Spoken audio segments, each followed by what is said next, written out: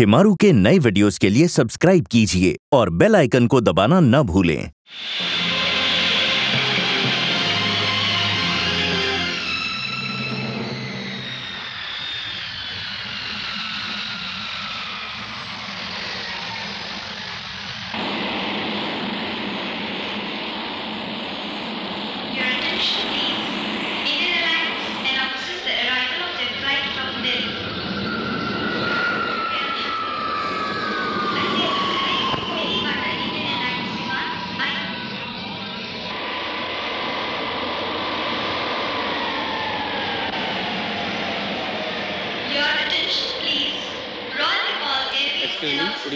please.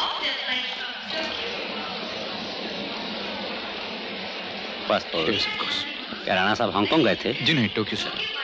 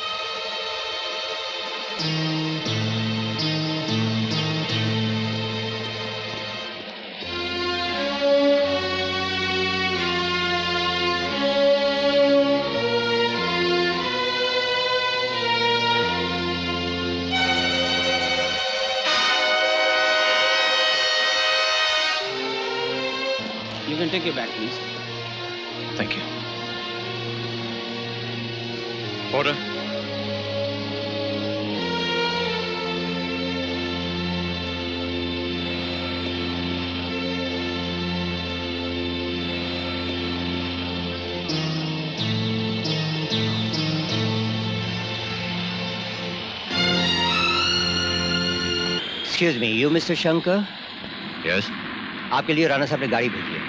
आइए।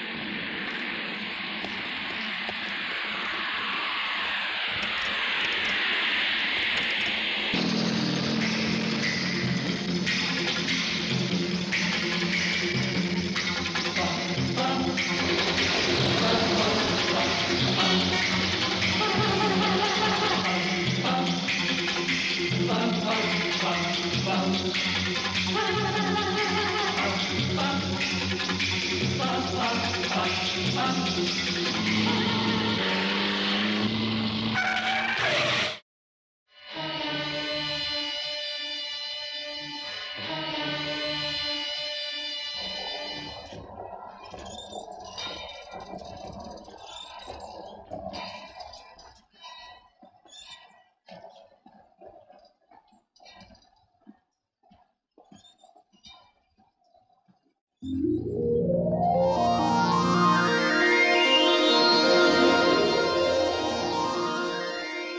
Welcome welcome अरे ये तो एकदम अमित जैसा दिखता है रे। राणा साहब आप ही हैं? हाँ हाँ अपन राणा है। अ, मेरा नाम शंकर है। मंजू ने आपके नाम ये पद भेजा खन्ना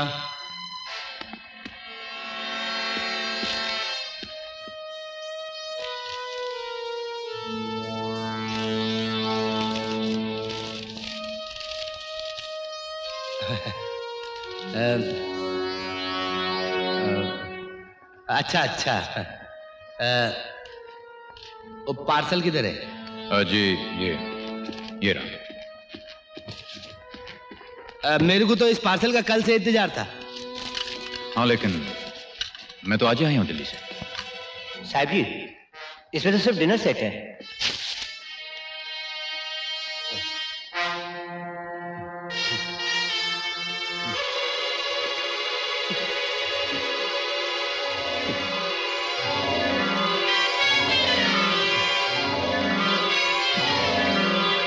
सुल्तान।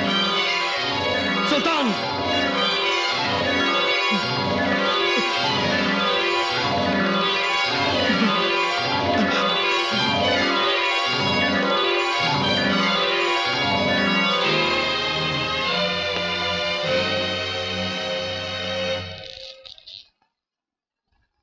असली पार्सल किधर है? असली पार्सल? मैं समझा नहीं। ए इंस्पेक्टर। अब उनसे ज़्यादा होशियारी मत कर। बता कहा है वो शिव का मूर्ति? मेरे बारे में बहुत कुछ जानते हैं आप? ज़्यादा बकवास मत कर। वो शिव जी की मूर्ति किधर है बता। ऐसा क्या है इस मूर्ति में जिससे आपका ब्लड प्रेशर बढ़ता चला जा रहा है? इंस्पेक्टर अब बहुत हो गया अपन आखिरी बार पूछता है वो शिव जी का मूर्ति किधर है अपन तीन तक गिनेगा। जवाब दे दे नहीं तो भेजा उड़ा देगा। एक दो तीन।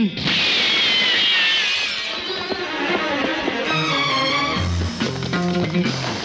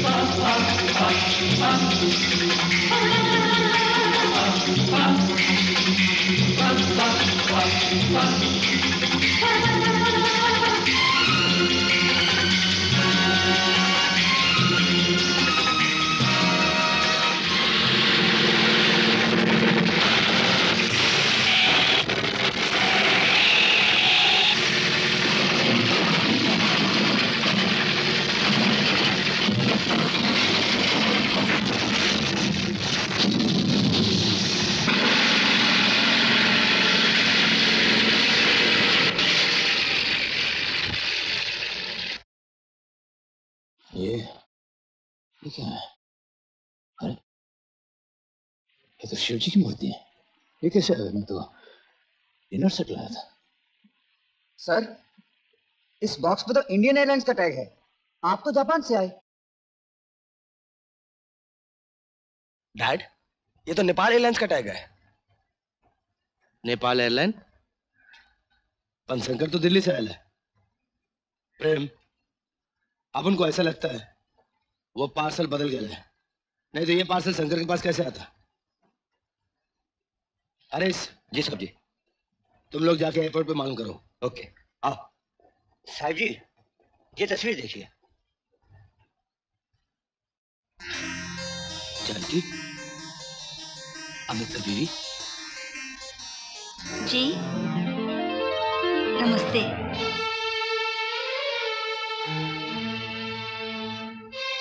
इसका मतलब है कि शंकर अमित का बेटा है। और वो राणा साहब के घर में मेहमान बन के आया है। साइमन, राणा साहब के घर का कोने कोने छान मारो।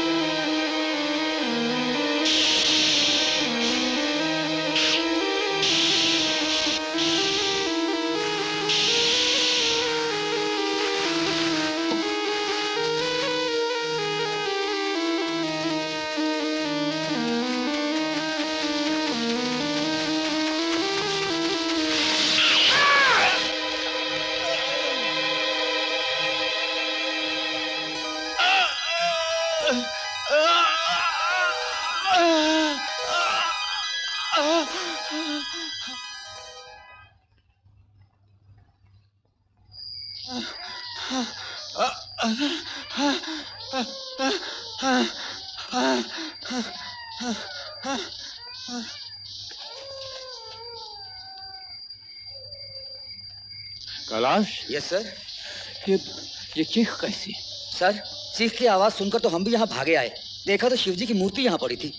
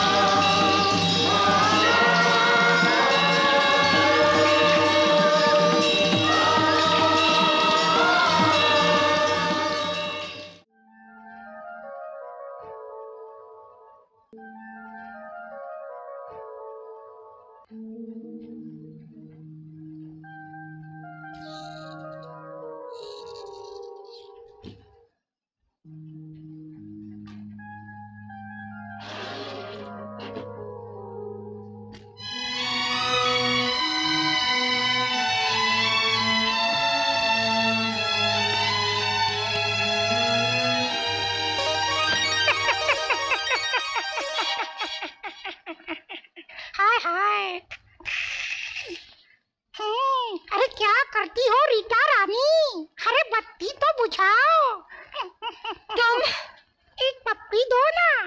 मामा के बच्चे तू यहाँ क्या कर देखा हम मार खाने की नहीं दिल लगाने की चीज़ है। ठीक है तो कह रहा है। तुम तुम यहाँ क्या कर रहे हो? अरे मेम एक लड़की जब साड़ी बाँध कर गले में फूलों का हार डालकर, लड़के के साथ अपना पल्लू बाँध कर अग्नि के साथ फेरे लेती है तो वो फेरे उसकी ज़िंदगी को फेरा डालते हैं। फिर जहाँ लड़का फिरता है, वहीं लड़की फिरती है, जहाँ लड़का जाता है, वहीं लड़की जाती है।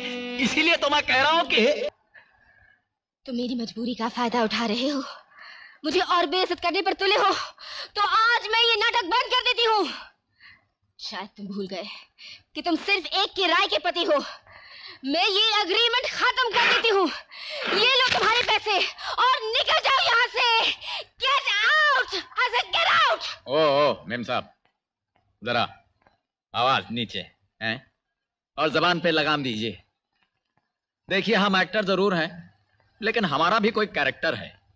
ये गेट आउट बाहर निकल जाओ। ऐसे डायलॉग तो हमने स्टेज पर कई दफे बोले हैं। असली ज़िंदगी में कोई ऐसे बोले ना तो हम उसके दांत बाहर निकाल देते हैं। जबड़ा तोड़ देते हैं, फिर नकली दांत भी उसमें फिट नहीं हो सकते। आपका लिहाज कर रहा हूँ, इसलिए ये लीजिए, अपने दस हज़ार। एक कलाकार की तरफ़ से बख्शिश। अरे ओ मामू, तू यहाँ क्या कर रहा है? चल। तुझे तो दिल वालों के बीच रहने की आदत है। ये कम वक्त तो पैसे वाले लोग हैं। हाँ।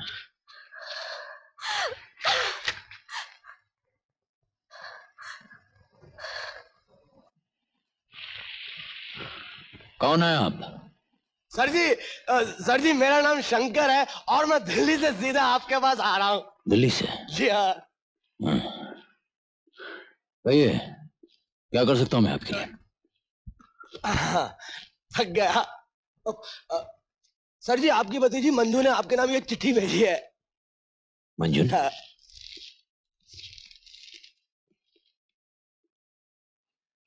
हम्म। काफ़ी तारीफ़ लिखी है आपकी। सर मुझ पर रहम खा के लिख दिया होगा वरना मैं क्या मेरी तारीफ़ क्या? सर जी आ, आपका डिनर सेट। डिनर से जी हाँ। वो तो आपके पास पहुँच गई होगी। वो? नहीं।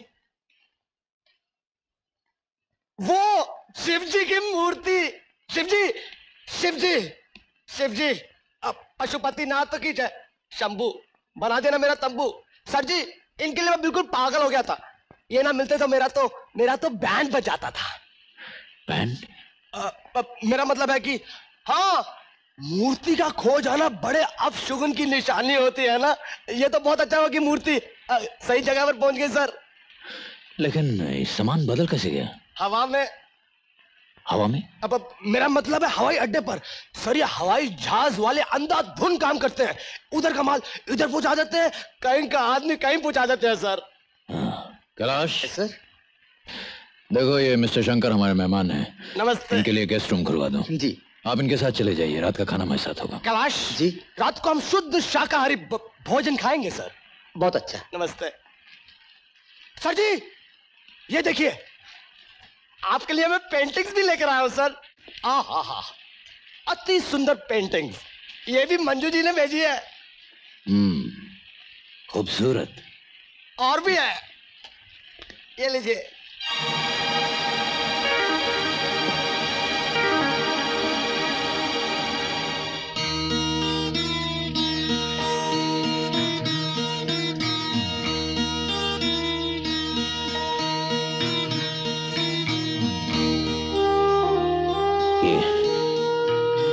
ये तस्वीर।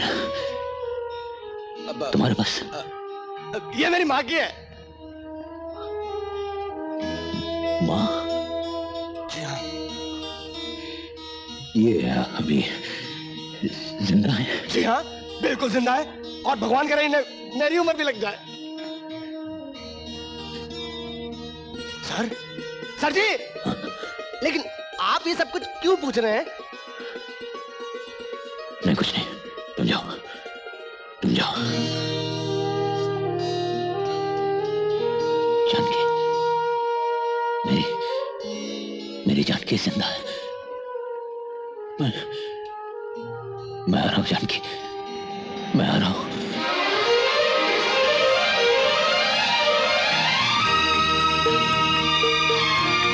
जानकी जानकी। कौन? मैं हूँ जानकी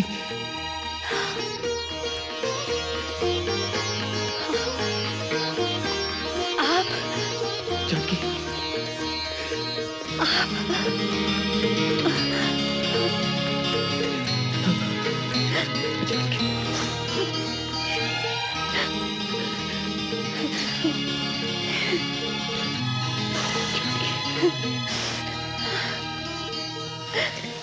चलो जानकी मैं तुम्हें ले जाने आया हूँ। चलो। अरे। इंस्पेक्टर तुम हाँ मैं। मेरे पास आपकी गिरफ्तारी का वारंट है। लेकिन लेकिन इंस्पेक्टर आज मैं मुद्दतों के बाद अपनी पत्नी से मिल रहा हूँ। मुद्दतों बाद आप कानून से भी मिल रहे हैं। पहले कानून का हिसाब चुकाइए नहीं इंस्पेक्टर। आज मुझे कोई नहीं रोकेगा। रुक जाइए। नहीं। चलो जानकी रुक जाइए वरना गोली मार दो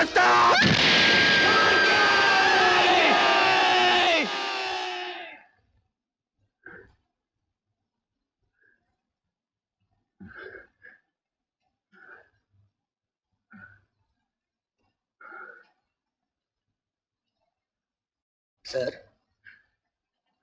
सर आपसे कोई साहब मिलने आए हैं।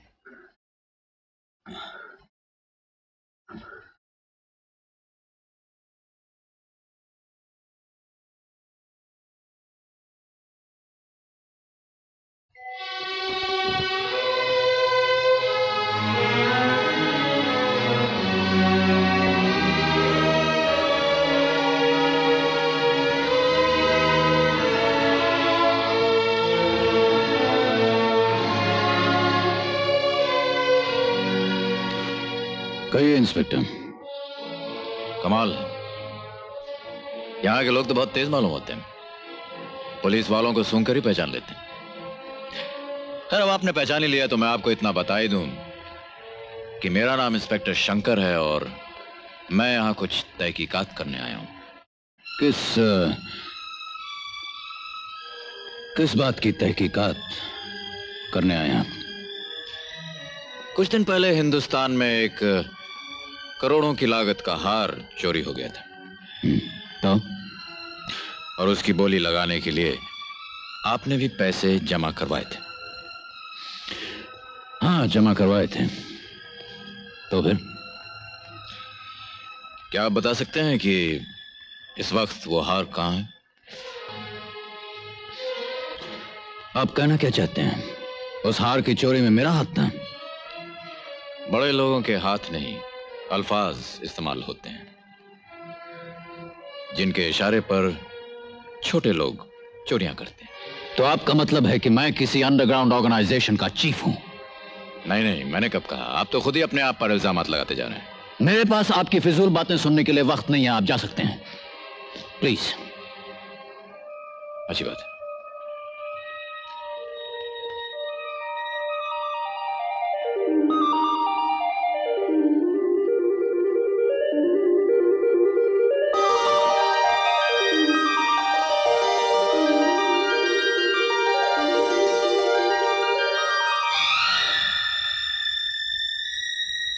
साहब।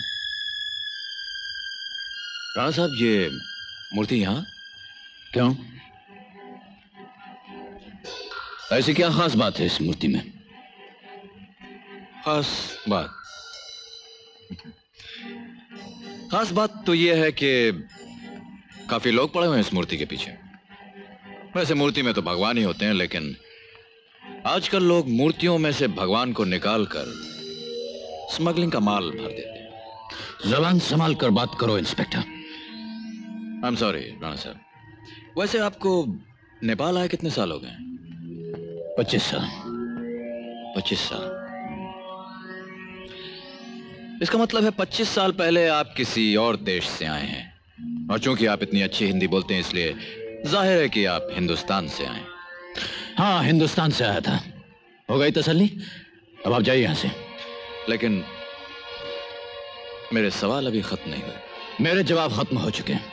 फिर भी मेरे कुछ सवाल अभी बाकी इंस्पेक्टर तुम्हारे पास कोई ऐसा कानून नहीं है जो मुझे मजबूर करे कि मैं तुम्हारे हर सवाल का जवाब दूँ? कानून की काफ़ी मालूम है आपको राणा साहब। कहीं आप पहले वकील तो नहीं थे? इंस्पेक्टर। नहीं मुझे इसलिए याद आया कि आज से 25 साल पहले बंबई में एक बहुत ही मशहूर वकील था। जो खून करके फरार हो गया था और जिसका आज तक पता नहीं चला। लुक इंस्पेक्टर मुझे मुझे बोल लेने दीजिए राणा साहब। पुलिस की किताबों में उस वकील का जो हुलिया लिखा है वो बिल्कुल आपसे मिलता जुलता है। वो वकील भी आप ही की तरह लंबे कद का था। हम्म, तुम्हारा कद भी तुम्हें इतना है तो क्या तुम कातिल नहीं हो सकते?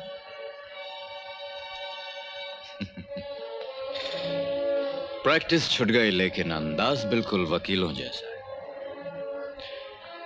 देखिए वकील साहब आई मीन राणा साहब ये बात पच्चीस साल पहले की है। और पच्चीस साल पहले मैं इस दुनिया में था ही नहीं। लेकिन आप थे। और 25 साल पहले जो आपकी उम्र रही होगी, पुलिस रिकॉर्ड्स में कातिल की भी वही उम्र लिखी है। Shut up and get lost. Okay sir मैं फिर किसी रोज आऊँगा। वो वक्त कभी नहीं आएगा। वक्त आए ना आए मगर इंस्पेक्टर शंकर ज़रूर आएगा। Catch out